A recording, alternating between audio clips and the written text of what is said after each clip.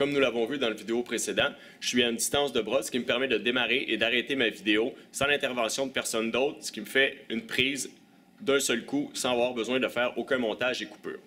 Quand je cadre ma vidéo, je m'arrange pour avoir le côté vertical et le côté horizontal de mon tableau cadré avec ma vidéo et je zoome le plus proche possible, ce qui permet de bien voir ce qui est écrit sur le tableau et ça permet aussi de voir les gestes et les expressions faciales de l'enseignant qui vont aider l'élève à saisir la pertinence des différentes notions qu'on veut lui montrer. Une autre petite astuce, lorsque vous changez votre panneau, décollez-le du deuxième panneau avant de le pousser, avant de le glisser un peu plus loin, ce qui évitera d'effacer le contenu du deuxième, du troisième, donc du tableau qui est situé à l'arrière.